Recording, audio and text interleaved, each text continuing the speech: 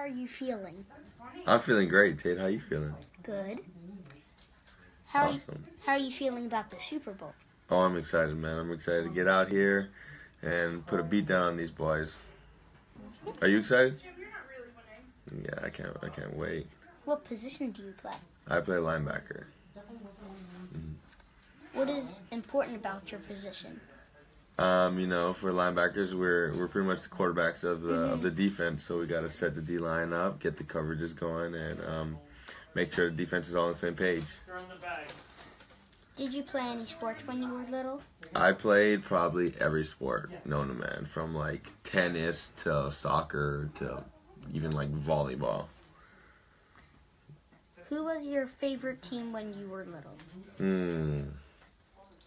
I didn't start watching football seriously until I was a little older, but I always liked the 49ers because that was the closest thing to my home. Do you know that Alexa and Siri is cheering for you in the Super Bowl and Google is rooting for the Patriots? I didn't know about Google, but I did know about Alexa, and we mm-hmm. we actually I have Alexa at home, so we tried it. We tried it out, and it was actually pretty cool. Do you have any pets? I do. I have a dog, and I won't claim this one, but it's my girlfriend's cat. Do you know what your dog's name is? my dog's name is Mowgli.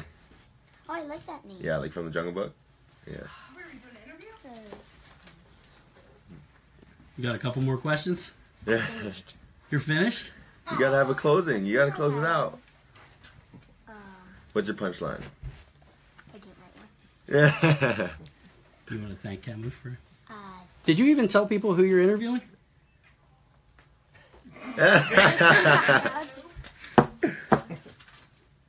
Kamu Grugier Hill. There you go. hey. Did he say it right? He did. He did. Right on. Say thank you. Shake his hand. Awesome. Thanks, Tate. Thanks for your Good time. Good luck next week. Good luck next Thank you very much.